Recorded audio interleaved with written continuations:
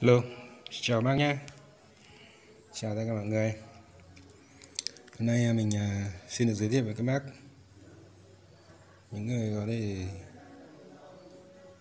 đã biết cái quả này rồi Và có những người thì chưa biết quả này là quả gì. Theo các bạn, các bạn đoán xem đây là quả gì nào. Trước tiên là cho các bạn đoán trước nhé, đây là quả gì nhé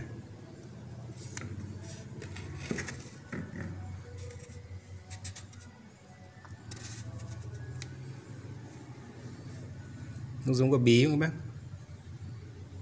Bí ấy. Có phải không nhỉ? Đây phải phải phải quả bí không nhỉ?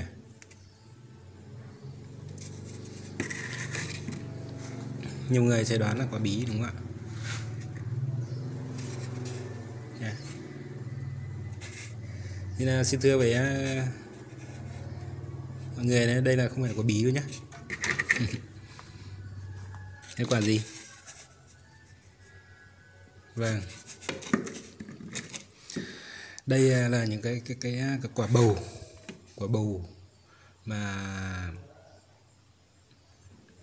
đã được thu hoạch lúc nó già rồi, thu hoạch. Sau đó là được ừ, cắt đi cắt đi bằng cái miệng này này, miệng đầu của nó này sau đó là tôi đi ngâm đi ngâm ngâm dưới nước. Ngâm ờ, một thời gian khoảng một hai tuần. Chắc khoảng tuần một tuần thôi. Sau đó là tôi lấy uh, móc nó ra. Móc uh, cái cái cái ruột của nó ra. Nó vừa có ruột này vừa có hạt này có ruột này. Đấy. Và đây là cái quả bầu. Bầu này bầu này bầu tròn nhá các bạn nhá, cái bầu tròn này quê tôi dùng để làm gì các bạn biết không? Cho người tôi sẽ giải thích nhé ở đây là quả bầu tròn. Mà khi mà nó còn non ấy khi non thì nên ăn đúng không? Mà nó non thì nên ăn.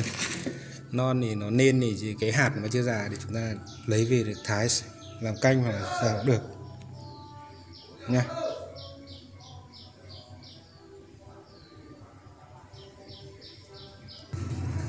vâng thưa các bác nhé thì à, rồi tiếp tục nhỉ. Lúc nãy đang mới ờ, đầu thì hỏi mọi người ở đây là quả quả gì. Nhiều người sẽ không đoán được đâu. Nghĩ là quả bí đúng không? Thực ra nó là quả bầu.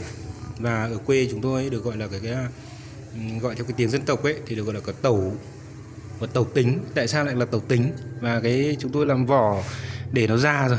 Để sau đó là cắt một ờ, miếng đi sau đó ngâm rồi lại cái hạt là cái ruột nó ra là để chúng tôi để làm gì như này.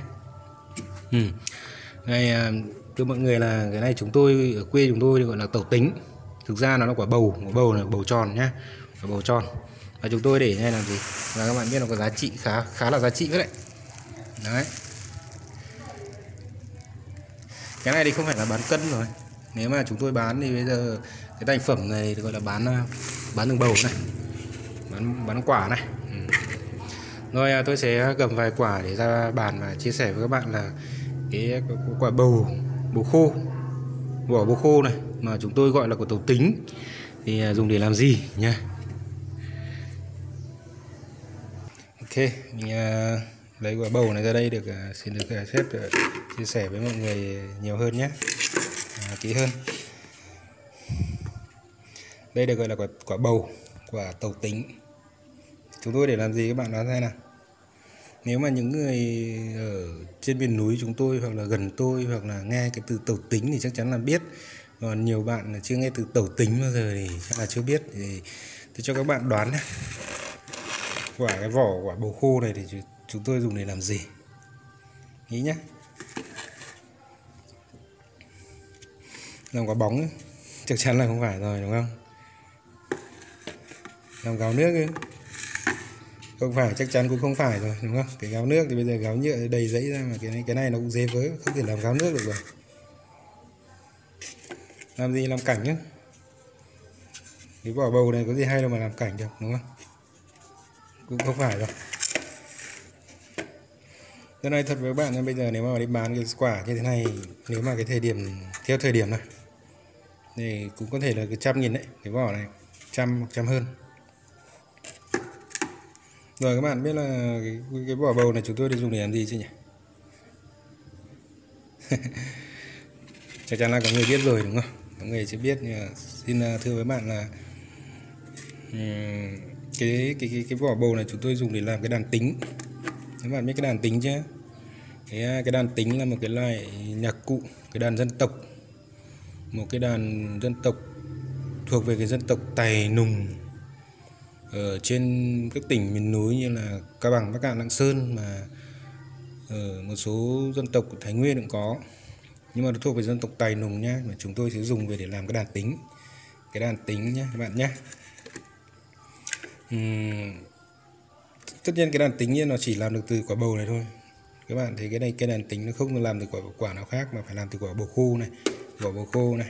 Đấy lúc nó non thì chúng ta còn lấy về ăn, nên ăn. Nhưng mà thực ra thì chúng tôi, nếu mà làm kinh tế thì để nó già, sau đó là ngâm, vứt vỏ, bóc hạt, sau đó lấy cái vỏ như thế này đi bán cho những cái cơ sở, những người mà có nhu cầu mà tìm cái vỏ bầu này về để làm cái cây đàn tính.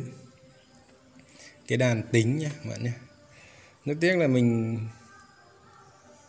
mình lại không có cái đàn tính để chỉ cho bạn xem nhỉ à, rồi để tôi tìm nha thế nào là cái đàn tính nha. Nhiều người chưa biết cái đàn tính là gì mà tôi đã biết rồi dân tộc tài nùng mông giao biết rồi. À, tìm cho bạn nhá ghê chú. Cả. Ơ bà thím còn có cái cái đàn tính không? Ê, cháu mượn tí. Ờ cháu, cháu quay phim một tí để chơi tí. À, rất may là nhà bên này là cái, cái chú chú họ của tôi. Thì à, mẹ của chú ấy thì là chuyên về cái đàn tính. Đấy. còn cái à, sản phẩm này thì gia đình thật sự là không phải tôi đâu mà là bố tôi trồng non để để ăn còn già rồi thì lấy đi bán để làm kinh tế. Đang chú của mình vừa từ nhà bên cạnh như lấy rượu với cái cà thì gọi tôi nhâm nhi rượu này. Đây là quả tàu tính nhé bác. Quả tàu tính. Thực sự nó là quả bầu, vỏ bầu khô thôi, quả tàu tính. Và chúng tôi dùng để nó làm cái cây đàn tính. Và tôi sẽ cho các bạn xem cây đàn tính bây giờ này. Đấy. Đây này, các bạn chờ nhìn xem nhá. À đây. Đây đây đây cái đàn tính này. Để cháu mượn đi. Đấy. Cái đây là cái đàn tính này nó làm từ cái, cái quả bầu đúng chưa đấy đúng không? Cái này bà, bà thím làm từ quả bầu đúng không? Ừ, Đúng đấy. Nhưng mà thím mua đúng không? Đúng. Ừ, đây này. Từ cái này ra. Ừ, đây là vỏ bầu khô nhé. Vỏ quả bầu khô này. Đấy, vỏ quả bầu khô. Đây là giống như giống như cái vỏ này đúng không? Giống như cái vỏ này là người ta gọt Sơn ừ, gọt cái một mặt đi gọt một cái một mặt đi xong đó là người ta trang trí một số lỗ này một số lỗ vào đây để gây ra cái tiếng kêu của đàn cái đàn tính nhé, đấy, nó giống như quả này đúng không? Đấy giống nhau đúng không? Và khi người ta làm thì sơn này sơn là nó trang trí vào này cho nó bóng bẩy. Cái này hơi cũ một chút. Đấy là cái đàn tính nhá. Đây người ta kéo dây ở đây này. Và đây. Đây là cái đàn của dân tộc Tài Nùng dân tộc Tày của mấy dân tộc Tày và Nùng của dân tộc Còn Tày. Nùng cơ. ở trên. Cao Bằng Bắc Cạn Lạng Sơn này chúng tôi có cái đàn truyền thống này. À, để gảy các bạn nghe nhé nghe nghe nhé. Mình thì không biết gảy nên nghe nó chẳng ra gì. Họ vào quay, quay phim mà chú. Đây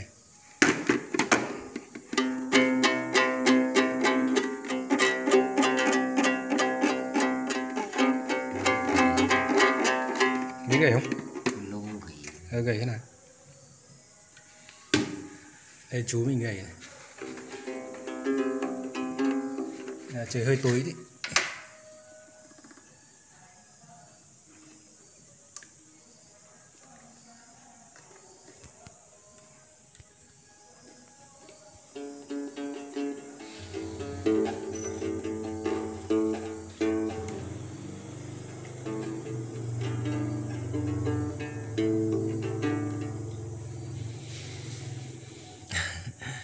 Không chỉnh được à? Chưa lên được. Đây các bạn nhá đây là cả cái quả bồ khô này là ở miền núi chúng tôi là dùng quả cái bầu khô này dùng để làm cái đàn tính này. Đấy.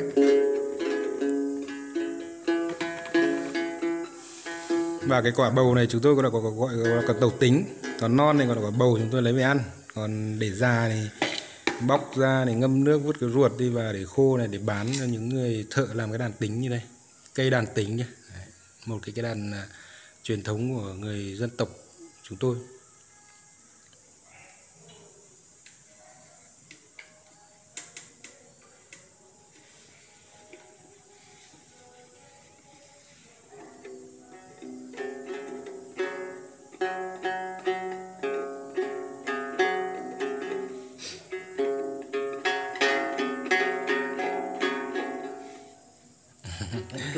Ra chú ờ, chú của mình cũng không biết ờ, gảy đàn tính cho lắm đâu. Chẳng qua là cái tiếng kêu của nó như vậy.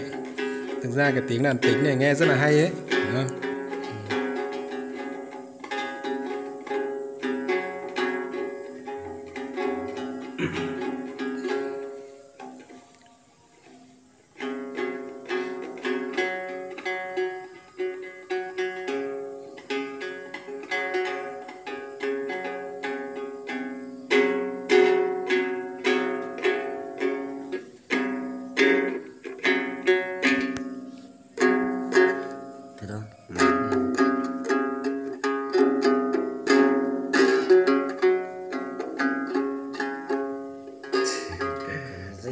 Cùng ừ.